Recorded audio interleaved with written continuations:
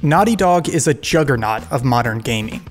As arguably Sony's favorite in house studio, they have created four blockbuster franchises spanning four generations of PlayStation consoles. The industry looks towards Naughty Dog as the best in class of storytelling, visuals, and AAA game development. In the tough and merciless games industry, Naughty Dog is as close to universally loved as it gets. And yet, every time I try to play Uncharted or Last of Us, their two latest and greatest franchises, I don't like them. I play the game for an hour or two before an odd mixture of boredom and frustration overwhelms me. These are award winning games lauded by nearly every critic and journalist in the business, and all I want to do is put down the controller and never come back. But why?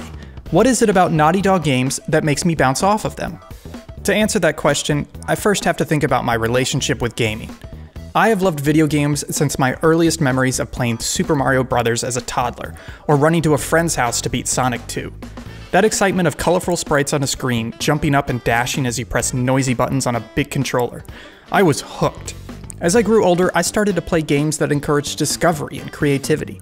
I remember my entire family working together to map out the levels of Chip's Challenge. And I remember spending hours and hours flying around Chicago in Microsoft Flight Simulator, learning the rivers and buildings of a city I had never visited.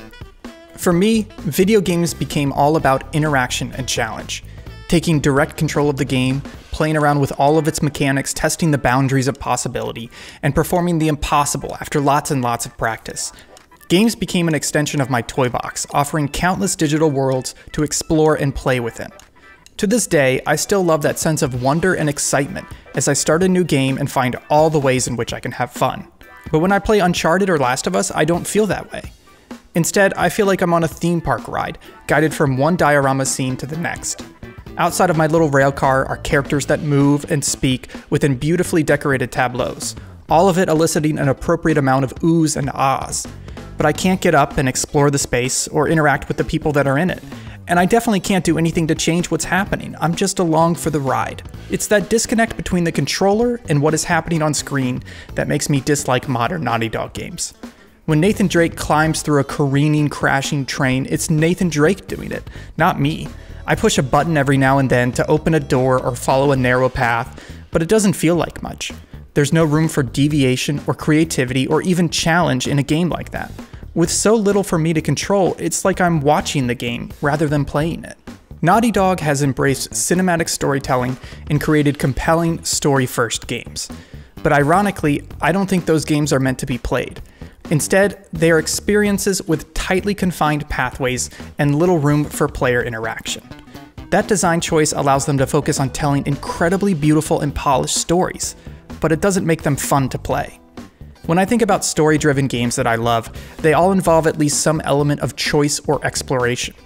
Bioshock has a singular storyline, but it wraps around a tough moral choice and gives you multiple mechanical upgrade paths to choose from. Yakuza 0 also has incredible storytelling, both in the mainline and in side quest, all of which makes the open world setting feel that much more vibrant. And the story in Spec Ops The Line works so well because it's a strong foil to the conventional shoot everything you see gameplay. While I do think Naughty Dog deserves to be applauded for their work in pushing game narrative beyond the standard tropes and cliches, I can't help but find their gameplay design lacking. When I sit down to play a game, I want to play with it, I want to feel some sense of participation and accomplishment. But if all I'm doing is following a hallway and completing QuickTime events, it's just not satisfying.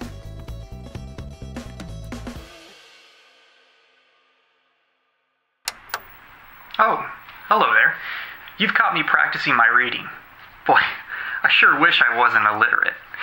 Clearly, you've enjoyed another Subpixel video. If you could like, comment, or subscribe, it lets us and it lets YouTube know that our content is worth watching. In the meantime, I'm going to get back to pretending.